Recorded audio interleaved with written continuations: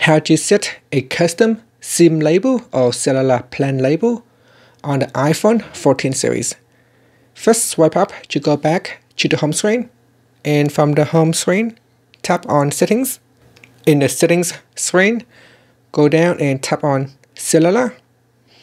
Now in here tap on one of the SIM that you want to set a custom label.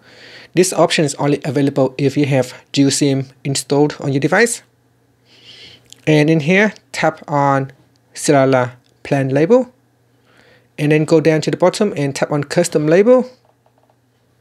And then in here, give it a custom label.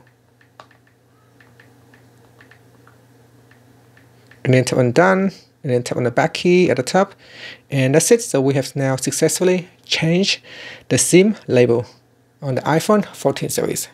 Finally, you can tap on, I'm sorry, swipe up to go back to the home screen. Thank you for watching this video. Please subscribe to my channel for more videos.